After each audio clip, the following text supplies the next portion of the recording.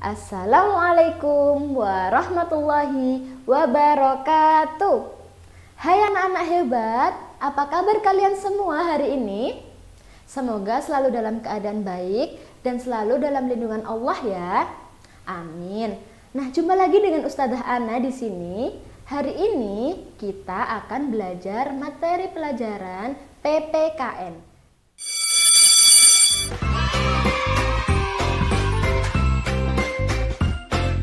Nah, PPKN, KD yang kita pelajari hari ini adalah KD 3.3 yaitu mengidentifikasi kebersamaan dalam keberagaman karakteristik individu di rumah.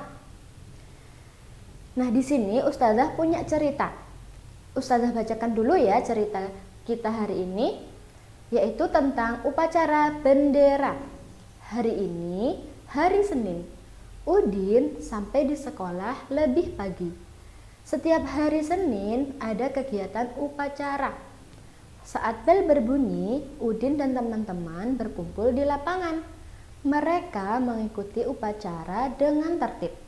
Kepala sekolah membacakan teks Pancasila. Seluruh siswa mengikutinya. Pancasila adalah dasar negara kita. Kita harus tahu maksudnya supaya dapat mengamalkannya. Nah, anak-anak, coba Ustazah tanya, kira-kira anak-anak ada yang tahu nggak ya jumlah sila dalam Pancasila? Jumlah Pancas jumlah sila dalam Pancasila adalah 5. Nah, apa saja bunyinya Pancasila? Kita baca bersama-sama yuk. Ustazah baca dulu, setelah itu anak-anak mengikuti ya. Pancasila satu, ketuhanan yang Maha Esa.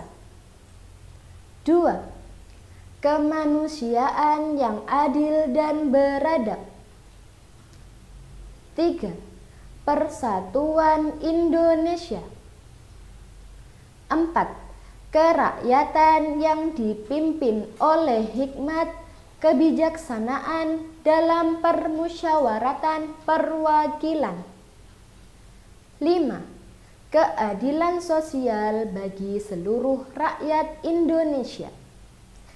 Nah, ini tadi bunyi dari sila Pancasila. Anak-anak wajib tahu dan wajib hafal ya.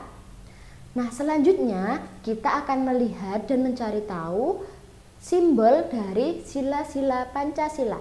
Yang pertama ada ketuhanan yang Maha Esa dilambangkan dengan bintang. Yang kedua, kemanusiaan yang adil dan beradab dilambangkan dengan rantai.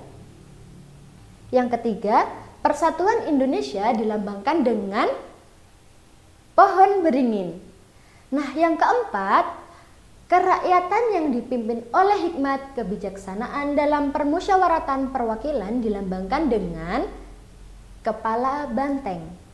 Yang kelima, Keadilan sosial bagi seluruh rakyat Indonesia dilambangkan dengan padi dan kapas. Oke anak-anak, ini tadi bunyi Pancasila dan juga lambang-lambangnya ya. Anak-anak wajib tahu. Oke? Nah, selanjutnya ini adalah peraturan yang ada di rumahnya Dayu. Nah, sebelumnya Ustazah bacakan dulu cerita Dayu pulang sekolah ya. Dayu pulang sekolah. Setiba di rumah, Dayu mengetuk pintu. Dayu membuka sepatu dan merapikannya. Dayu meletakkan tas dan berganti baju. Dayu mencuci tangan lalu makan. Setelah makan, ibu menyuruh Dayu tidur siang. Nah, dari cerita ini anak-anak, coba kita perhatikan. Ini adalah salah satu aturan yang ada di rumah Dayu, yaitu yang pertama, Setiba di rumah, Dayu mengetuk pintu. Nah, kita kan mau masuk mau masuk rumah nih. Jadi kita harus mengetuk dulu. Permisi, Assalamualaikum. Seperti itu. Meskipun di rumah kita sendiri, karena kan di dalam ada orang tua kita yang menyambut kita, ya. Nah, setelah mengetuk pintu, Dayu membuka sepatu dan merapikannya. Nah, Dayu tadi kan dari sekolah, otomatis sepatunya harus dilepas dulu lalu dirapikan di tempatnya. Setelah itu, Dayu meletakkan tas dan berganti baju. Ingat ya anak-anak, setiap kita pulang sekolah, kita harus mengganti baju kita dengan baju rumah supaya baju kita yang kotor tadi bisa dicuci lebih dulu. Nah, setelah itu mencuci tangan lalu makan. Ingat peraturan sebelum makan? Iya, salah satunya adalah mencuci tangan. Oke? Nah, selain Dayu itu mengikuti peraturan yang ada di rumah, Dayu juga menurut patuh ketika diperintahkan oleh ibunya, yaitu ibunya menyuruh Dayu tidur siang.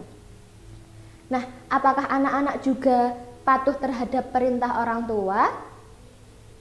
Oke, jangan lupa anak-anak PR-nya yang di modul dikerjakan ya.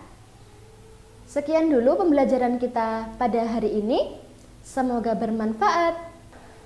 Jangan lupa tetap mematuhi protokol kesehatan. Jangan lupa tetap memakai masker ketika keluar rumah, mencuci tangan, dan menjaga jarak. Oke, sekian pembelajaran PKN pada hari ini. Ustazah akhiri, Assalamualaikum warahmatullahi wabarakatuh.